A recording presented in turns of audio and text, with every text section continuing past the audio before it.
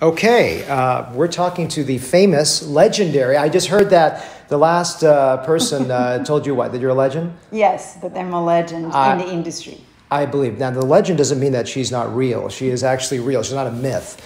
Uh, we would think that. So we've been working together how many years now? 17 years. Wow. Wow. I know. Crazy, right? I know, crazy. I can't believe it, but it went by fast in, they were amazing 17 years. And we have another 25. No, sorry, I don't want to scare Emina. She may, she may have a heart attack listening to this. Um, so, how many years have you been in the industry now? 27. 27 years. Wow. Can you tell us a little bit about how you started in this industry? So I finished medical school in Serbia, and then shortly after I finished medical school, war started, and um, I left the country, went to Canada. But Canadians had too many physicians of their own, so the path to become a physician as a foreigner physician in Canada was very difficult. So I wanted to be in the medical field. I found an ad in a paper that a clinic was looking for a front desk person. I applied for the position and it just accidentally that clinic was doing hair transplants. So once I was interviewed, they discovered that I have more than just um, knowledge to be at the front desk and I started being involved in hair restoration. I fell in love with hair restoration, and all this was in Canada. I spoke French, so I wanted to learn English. Say something in French for us. Bonjour, comment allez-vous? Bien, continuez s'il vous plaît. Um, then I moved to. There was a Canadian company that opened open was opening clinics in the United States. So I came to the United States in 1997, thinking I'll just stay here for a year, help them open the clinics, learn a little bit of English, and go back. But I'm still here, still learning English, and um, and I love it. And you also worked for a company, we don't have to mention companies' names, but, uh, and you traveled teaching uh, different people around, right? For a while. Correct. How long did you do that? So I did that for uh, six years. So I travel um, in probably eight to ten different cities in the United States, and work with different teams. So I trained uh, physicians, assistants in uh, the helper, like a. Cleaning people or people who were doing the sterilization of the instruments or setting up the procedure and so on. So um, I took, it was very interesting. I learned a lot um, how to understand different personalities, but also I, I also saw physicians who did hair transplant without passion, understanding, with a lack of creativity, Yeah. and um, I learned a lot. That's cool. And uh, one time she did try to escape me after a few, uh, many years, but um, uh, she, you worked for um, a, a company just as a national director of training for a while, and then you're back here for, and you've been with, ba- back here how many years now uh, in a row? We've been, I think I came back in 2013. No, more than that. Uh, six years ago, six or seven years ago, I came back. The I, honestly, I forgot. It's so Yeah. cool. Like Good. The other This is- experience just went away. We always say this is Emina calls us home. I call the mafia. You can't escape. So Emina tries to leave. She's got an electronic leash. She doesn't know. She can't go back. don't say No. I'm just joking. All right, uh, Emina, tell us. And you've done a lot of things to pioneer development uh, of this industry. Um, you actually won an award from the ISHRS, not only just for the Surgical Assistant of the Year award, which I, I think is amazing, but you've done a lot in terms of academic uh, promotion. I know you've run a course with me now, 11 years. It's the only surgical assistant course really out there that is thriving and, and vibrant. Um, could you tell us a little bit about some of the training models that you've developed?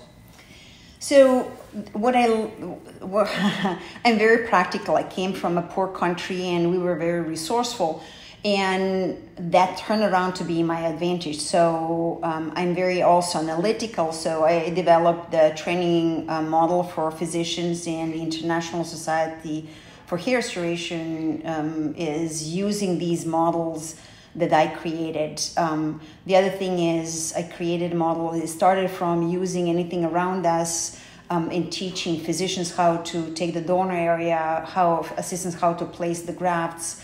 So there's a lot of different models, and they evolved over the years as the understanding of the procedure evolved.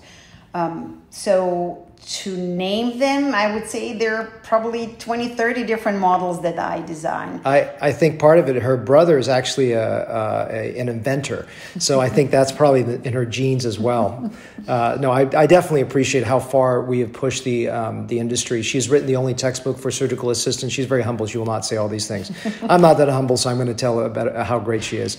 Uh, I, I yeah. think what, what happened over the years is every time I see a problem and a need, I feel that um, I can do something about it, and then I step in um, with the idea that I can maybe help, and then overpass my own understanding what I'm capable of. So.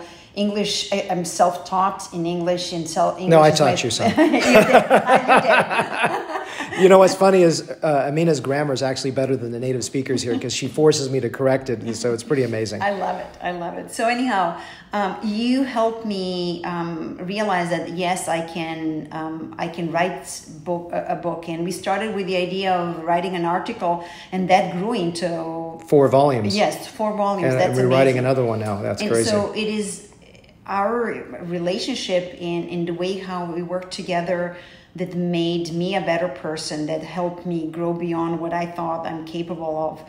But also, um, we provided something for the industry that was not available until we started. We created a course that gives a training for physicians and assistants together.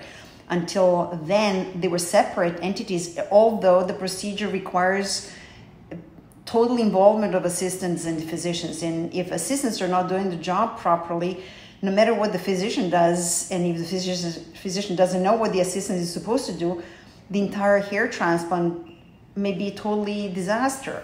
So I think between two of us and combining our understanding and vision and, and hard work, we created something in the industry that I'm very proud of. And I think awesome. The coolest thing is we meet people now who tell us they attended our course 10 years ago and they have a successful practice today and we were instrumental in in developing passion and that's the coolest thing. Awesome. On that note this end with the last question is um, what could you tell the audience in case someone's out there who's a physician uh, trying to be inspired to to take uh, go into hair restoration tell them a little about your course. Like what why should i mean i know you're running the surgical assistant side but uh, maybe they have an assistant wants to come. Can you give a little promotion for what the, what your course is all about? So um, it, hair restoration is very interesting field. Looking from the outside, people would say it's just a repetitive work, but looking from the inside, there's a, so many subtleties within the, the hair restoration for the assistant. So what I teach is the basic skills, but most important, the critical thinking. So person will receive basic knowledge and then the eye to recognize yeah. the value and quality and then the ways to think through and, and really uphold the quality in, in higher standards and i, would just uh, give you the, give the summary to the audience listening to this is that it's critical thinking which people don't think assistants do but it's absolutely fundamentally important in addition to that besides critical thinking it's hand-eye training. I always say in my course, in my part of my course, is that I, you can watch me do it a thousand times, but until I watch you do it, I don't see anything. It's the same thing for your course, right? Yeah, and then the other thing is it requires time for someone to, for things to click. And our course give enough hands-on practice that it gives enough time in a safe environment for the assistants or physicians who take the course to get to that point where oh, I get that. Yes, I feel comfortable about that. I feel confident about this. And so that is the, the best value of the course we provide. Now, the only thing I know in Serbian is uh, Dragomia da smo se upoznali. Could you say to the audience, and we're going to close this out, is uh, thank you for listening and I hope to see you. Hvala što ste slušali i nadam se da ćemo se uskoro videti. Hvala lepo.